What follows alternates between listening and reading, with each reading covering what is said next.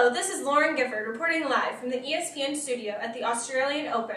And I'm Christopher Baston.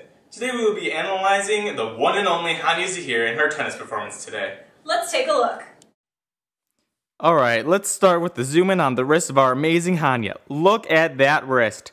The ball's coming and coming, and boom, there it goes. Look at that beautiful arc. Now let's think for a moment. Why would it go in the arc? I know what most of you are probably thinking. Well, what are you thinking, Christopher?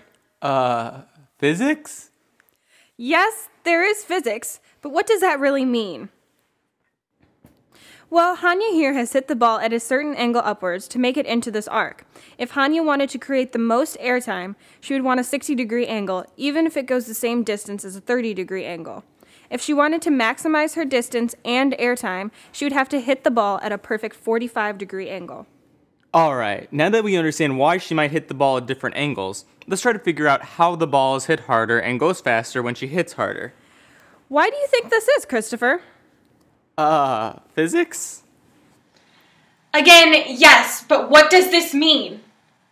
Wait, are you in different clothes, Lauren? Yes. Well, let's go to Caitlin, another tennis physicist, to learn why. Well, guys, you gotta put some work into it.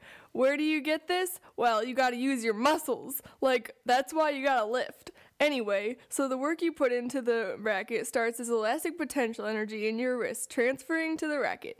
As the ball hits the racket, the wires bend, which has which also has elastic potential energy. The moment the ball leaves the racket, the ball has max kinetic energy. As the ball goes up, there is some kinetic and some gravitational potential energy. When the ball reaches the peak, it stays suspended there, defying gravity with max gravitational potential energy. Really? No, that was a test. Anyway, it's impossible for there to be more gravitational potential energy due to the conservation of energy. As the ball then descends in the parabola formation, it once again has gravitational potential energy and some kinetic energy. Right before the ball hits the other player's racket, it has max kinetic energy like before.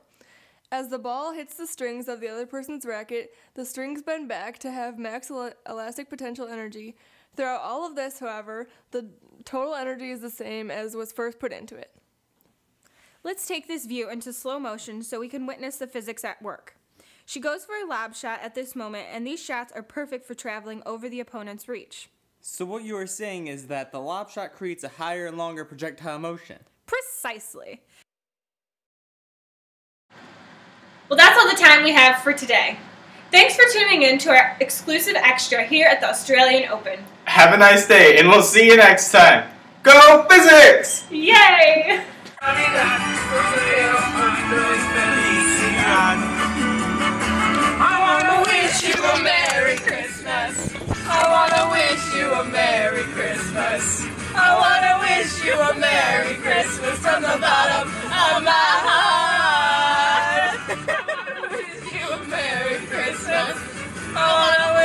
a Merry Christmas.